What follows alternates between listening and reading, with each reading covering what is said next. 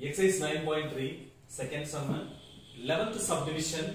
evaluate integral 0 to pi x into sine square of sin x plus cos square of cos x into dx. Sine square of sin x, cos square of cos x into dx.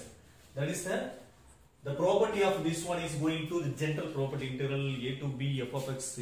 x into f of x into dx. That is the the general form of the property. That is called integral a to b x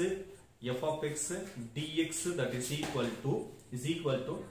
a by 2 okay? A by 2 into integral 0 to a into f of x into dx. That is the property. Now first first let us consider i is equal to integral of 0 to pi 0 to pi x into sin square x into sin x sin square x into sin x. Next plus cos square x into cos x into dx okay va so we know that we know that the formula of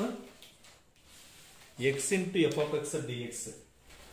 so the property integral of 0 to a x f of x dx that is equal to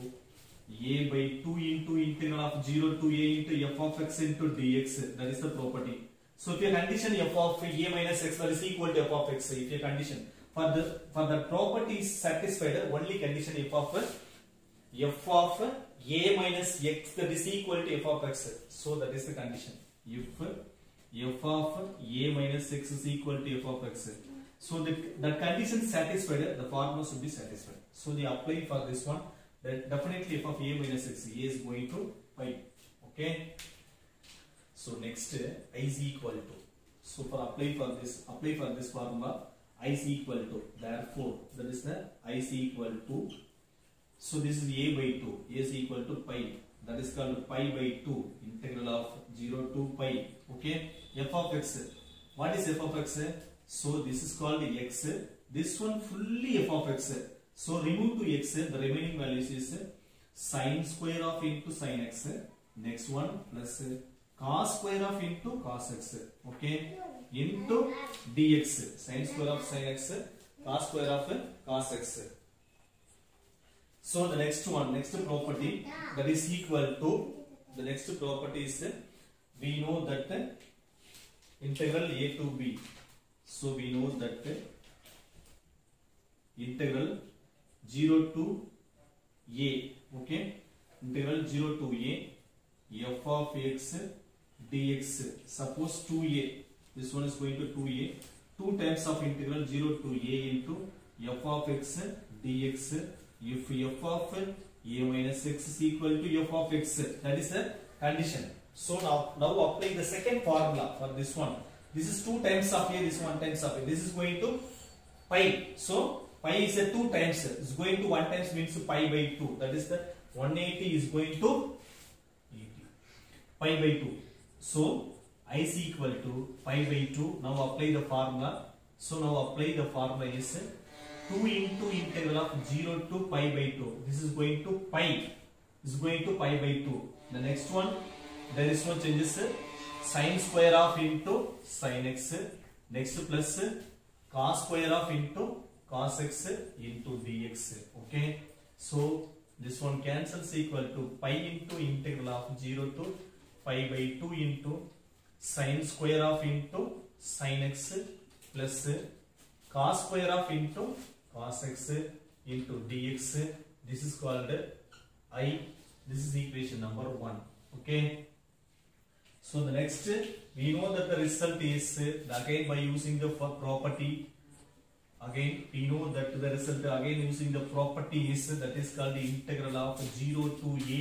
f of x dx that is equal to integral of 0 to a f of into a minus x into dx. That is the property. Okay? So by using for that property i is equal to so therefore i that is equal to pi into integral of into 0 to pi by 2 into sine square of into sine of into so pi by 2 pi by 2 minus x plus cos square of into cos of into pi by 2 minus x into dx okay so i that is equal to i that is equal to integral of into 0 to pi by 2 into pi by 2 into so sine square of into cos x next one plus cos square of into sin x cos square of into sin x into dx why because sin of 90 minus theta sin of 90 minus theta is equal to cos theta sin of so cos of 90 minus theta is equal to cos theta okay okay so this is called equation number 1 so this is called equation number 2 so from equation from equation 1 plus 2 we get the result is is going to left side is going to i plus i that is equal to right side for right side value fully integral 0 to pi by 2 is a common of for two terms means i pi also is common the remaining values is sin square of into sin x the first one plus cos square of into cos x next one plus sin square of into cos x next one plus cos square of into sin x into dx okay that is called the property of sin sin square x cos square x sin square x cos square is equal to 1 so sin square x மட்டும் தான் 1 அப்படினா அப்படிலாம் கிடையாது sin of a cos of a that is called 1 sin square of a cos square of a எப்பவுமே angle ரெண்டுமே ஈக்குவலா இருந்துச்சுன்னா அப்ப டெஃபினட்டா இஸ் கோயிங் டு 1 இங்க ஆங்கிள்னா நம்ம என்ன டிஸ்கஸ் பண்றோம்னா sin theta அப்ப sin square t இப்ப sin square theta let us consider to this one theta cos square theta this is going to 1 this is also same value so is equal to pi into integral of 0 to pi by 2